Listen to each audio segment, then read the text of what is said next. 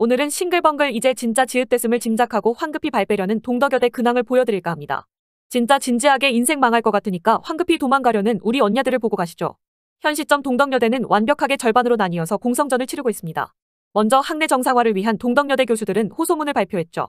학생들 간 수업 거부 강요는 중단되어야 하고 학교 시설 점거 및 훼손 중단 학내 갈등이 정치 싸움으로 가는 행위 중단을 요구한 교수님들. 등신 같은 우리 동덕여대생들은 성명문이고 호소문이고 익명으로 갈기지만 교수님들은 역시나 배우신 분들이라 251명 전원의 실명을 걸고 호소문을 발표했습니다. 동시에 학장단 역시 자신의 호소문을 발표했는데 자신들의 직위를 걸고 호소문을 발표하며 동덕여대생들과 수준이 다름을 증명했죠. 투표를 거수투표 공산당처럼 하는 동덕여대생들과 교수님 학장님들의 품격의 차이가 느껴지시나요? 아무튼 이번에 총학생회 측에서는 발뺌을 하며 학생회 주도 하에 진행된 부분이 아니라 학우들 자발적 분노로 폭력 시위를 한 거다. 불특정 다수의 학생들이 저지른 거지 나는 알바 아니다. 내가 한 거 아니다.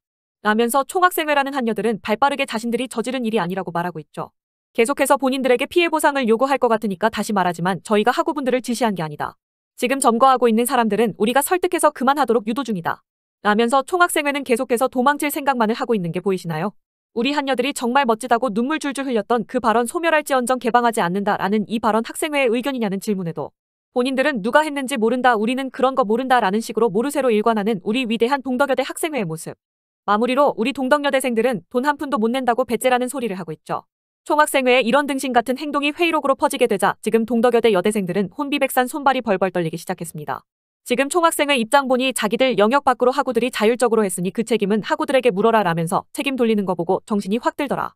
라는 식으로 동덕여대 내부에서는 총학이 자신을 배신했다는 생각에 얻냐 오또케를 연발하고 있으며 당장 내년 취업도 너무 걱정된다.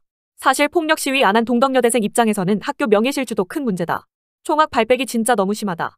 총학년들 으쌰으쌰 할 때는 자기 일처럼 하더니 일 터지니까 선 긋는다. 저 내년 취업인데 지금 너무 스트레스 받는다. 편입 준비해야 할 것 같다. 취업 박람회 부순 건 지금 봐도 어이없다. 라면서 너무 쫄리다는 우리 한국 여자 동덕여대생들. 여대 인식 자체가 별로인데 이번 일 더 클 것 같다. 취업 안 될 것 같아서 착잡하다. 잘 수습해서 빨리 잊혀졌으면 좋겠다. 너무 불안하다. 지금 취업 안 될까 걱정이라 잠도 못 자겠다. 라면서 실시간으로 우리 동덕여대생들은 하나같이 불안감에 떨고 있는 게 보이시나요?